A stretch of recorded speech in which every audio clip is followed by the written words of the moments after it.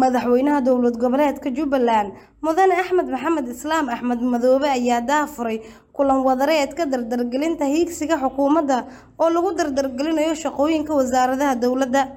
Madaxweynaha ayaa tilmaamay in shaqooyinka wasaaradaha ay yihiin laf-dhabarta shaqooyinka dowladda, taas oo haddii si hufan loo qabto wax weyn ku soo kordhinaysa higsiga xukuumadda ee fulinta adeegyada bulshada loo hayo. Waxa uu madaxweynuhu intaasi ku daray in loo baahan yahay in xoogga la saaro sidii hormuudka wasaaradaha dowladdu ay xoog u soo saari lahaayeen hufnaanta shaqada iyo ka miro dhalinta waxyaabaha hortebinta leh.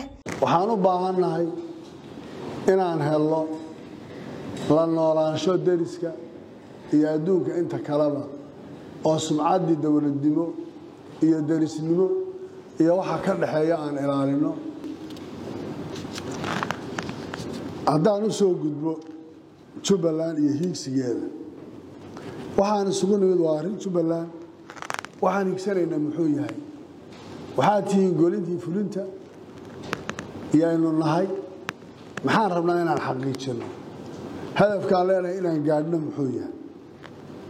Waxaa ugu muhiimsan koow ah jubbaland nabdoon ku dhisan sinaan in la haddii nabad la waayo deegaanku ma jirayo jubbaland ma jirayso haddii sinaan iyo cadaalad la waayona waxaa adkaanaysa dowladnimadu inay sal yeelato. Macnahaan uga jeeda waxay tahay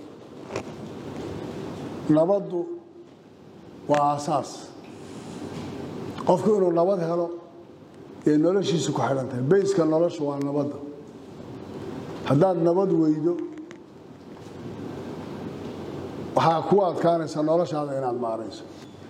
Waa yeel jiraa waa innaga jubbaland culeyska ugu badan shabaab inagu inugu hayaa inkastoo soomaaliya o dhan uu ku haya muhiimaddu waxay tahay inaan ka fakero jubbaland ka madax bannaan shabaab oo aan ka xorayno deegaanadeena Muna Cabdiraxmaan warbaahinta City.